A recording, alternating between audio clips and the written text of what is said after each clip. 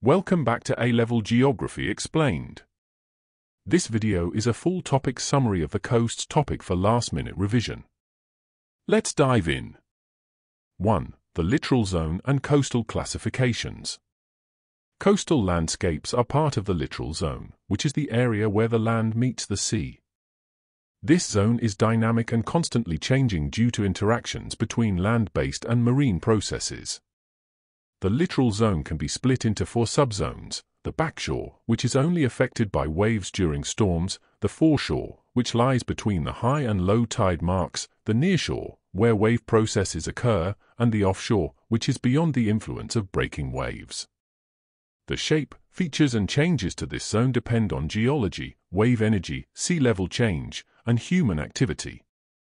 Coastlines are also classified in different ways. They can be classified by geology, such as rocky coastlines with cliffs and resistant geology, sandy coastlines dominated by deposition, or estuarine coastlines with mudflats and tidal influences. They can also be defined by energy levels, such as high-energy coastlines where destructive waves dominate and low-energy coastlines where constructive waves are more common. Additionally, coastlines can be classified by balance of inputs and outputs of sediment, with erosional coastlines experiencing greater erosion than deposition and depositional coastlines where sediment is deposited more rapidly than it is removed. 2. Geological structure and coastal morphology. The geology of the coast, including both the type of rock and the structure of rock formations, plays a critical role in shaping coastal landforms. Hard rocks such as granite, basalt, and limestone are more resistant to erosion, forming steep cliffs and prominent headlands. Softer rocks such as clay, shale, or unconsolidated sands erode quickly, forming bays or low-lying coastlines. Geological structure refers to the way rocks are layered, folded, or faulted. On concordant coastlines, rock layers run parallel to the coast, and erosion often exploits lines of weakness to form features such as coves, with Lulworth Cove on the Dorset coast being a well-known example. On discordant coastlines, where different rock types lie perpendicular to the shoreline, the contrast in resistance creates alternating headlands and bays, as seen along the Dorset coastline. Joints, bedding planes, faults and folds all contribute to how susceptible rock is to marine erosion. Heavily jointed rocks or those with faults tend to erode faster. Geological dip, referring to whether rock layers slope towards or away from the sea, also affects the stability of cliffs and the rate of erosion. These structural elements create unique and varied coastal landscapes, contributing to the formation of stacks, stumps, arches and wave-cut platforms. 3. Marine erosion and weathering processes. Coastal landscapes are shaped by a combination of marine erosion, weathering, and mass movement. Marine erosion includes four key processes. Hydraulic action occurs when waves force air into cracks in the rock, creating pressure that weakens and eventually breaks apart the rock. Abrasion involves sediment carried by waves grinding against the cliff face, wearing it down over time. Attrition takes place when rocks and pebbles collide with each other in the surf zone, gradually breaking into smaller and smoother particles. Corrosion, also known as solution, is when weak acids in seawater dissolve soluble rock such as limestone or chalk. Weathering processes also shape the coast. Mechanical weathering includes freeze-thaw weathering, where water enters cracks, freezes, and expands, causing the rock to fracture. Salt crystallization occurs when salt water evaporates, leaving salt crystals that grow and exert pressure on the rock.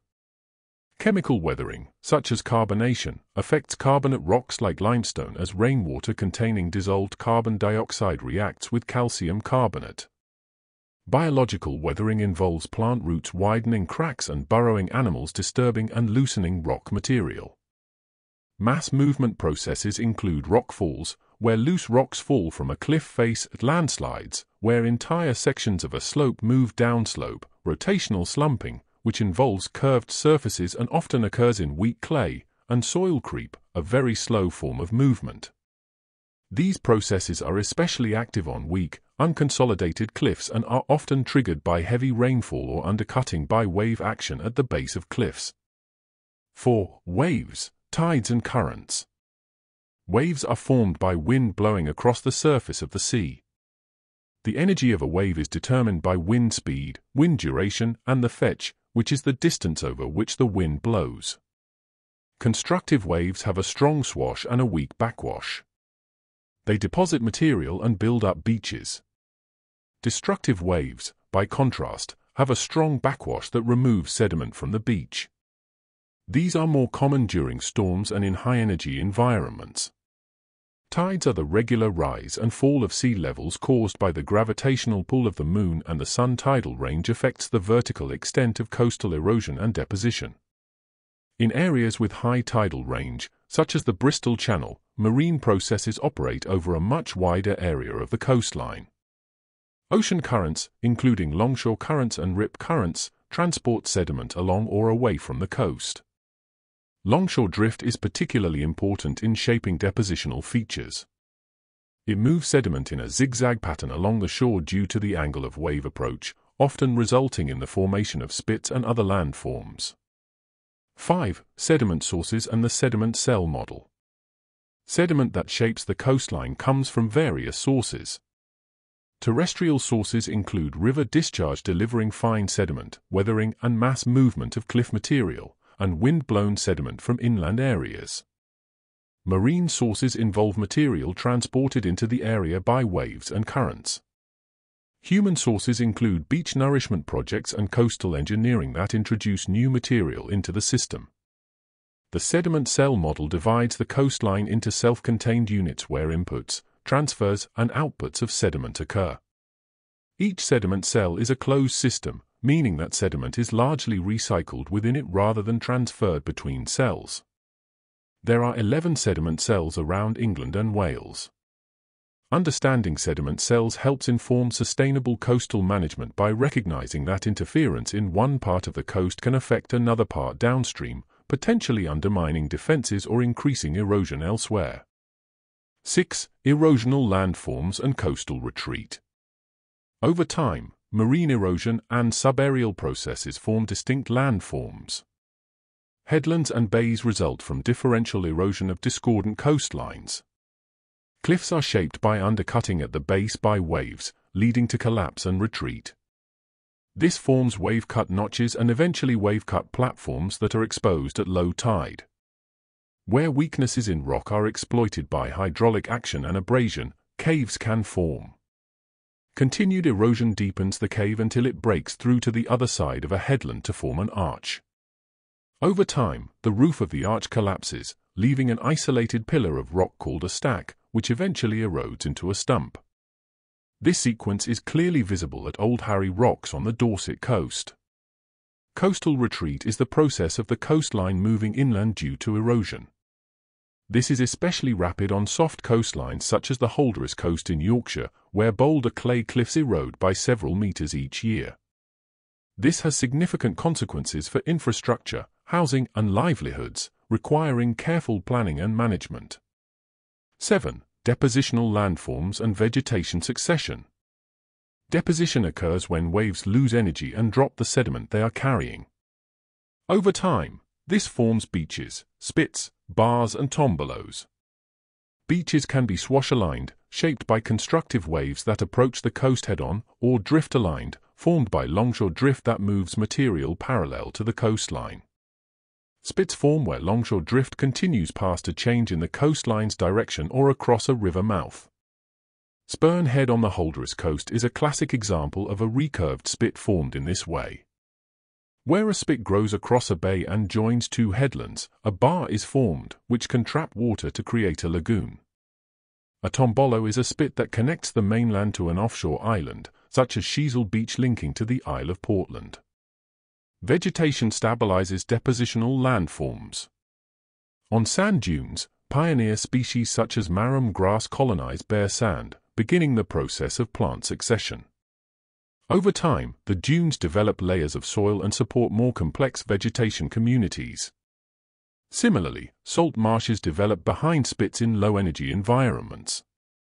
These marshes go through vegetation succession from pioneer species such as eelgrass to a fully developed halophytic ecosystem. 8. Sea level change and submergent and emergent landforms. Changes in sea level influence coastal landscapes in significant ways. Eustatic sea level change refers to global changes in sea level, often caused by melting ice sheets or thermal expansion of seawater as a result of rising temperatures. Isostatic change occurs when land rises or sinks relative to the sea due to tectonic activity, glacial loading or postglacial rebound. Emergent landforms are created when land rises relative to sea level. Raised beaches and fossil cliffs, found in western Scotland, are evidence of past sea levels and indicate where the coastline once was before isostatic uplift following the last ice age. Submergent landforms occur when the sea floods previously dry land. Rias, such as the Kingsbridge estuary in Devon, are drowned river valleys. Fjords, found in Norway, are drowned glacial valleys with steep sides and deep water. Dalmatian coasts, like those in Croatia, form where parallel valleys are flooded, leaving behind narrow, elongated islands that run parallel to the coastline. 9. Coastal flooding and risk management. Some coastlines are more vulnerable to flooding due to low elevation, high population density and limited protection. Rising sea levels, storm surges and increased storm intensity all contribute to heightened flood risk.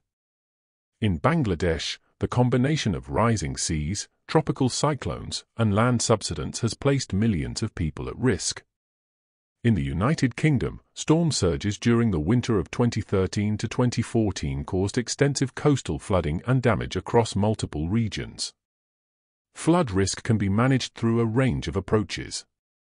Hard engineering includes sea walls, groins, and revetments. These offer direct protection but are often expensive and can cause erosion further along the coast by interrupting natural processes. Soft engineering includes beach nourishment and dune stabilization. These approaches work with natural processes and are often more sustainable in the long term. Forecasting, early warning systems and evacuation plans help reduce the impact of storm surges and flooding. Adaptation strategies, including managed retreat and land use planning, are becoming increasingly important as climate change leads to higher sea levels and more frequent extreme weather events. 10. Coastal management strategies and conflict. Managing the coast involves balancing environmental, economic, and social factors. Integrated coastal zone management promotes a holistic, long-term approach that involves all stakeholders. It aims to work with natural processes and protect vulnerable areas in a sustainable manner. Management options include holding the line to maintain current defenses, advancing the line to extend the coast seaward, manage retreat to allow natural processes to take over, and doing nothing in areas where intervention is not economically viable. These strategies are often controversial and can lead to conflict. At Happisburgh in Norfolk, the decision to allow erosion and not defend the coastline led to the loss of properties and significant community upset. In contrast, the Medmerry managed retreat scheme in West Sussex was successful in creating a new salt marsh habitat and protecting nearby homes by allowing farmland to flood. Decision-making is often informed by cost-benefit analysis and environmental impact assessments, but with limited resources and rising sea levels, difficult choices must be made about which areas to protect. Thanks for watching. I hope this video helped with your revision. Check out my detailed revision series and share this channel with friends. Goodbye.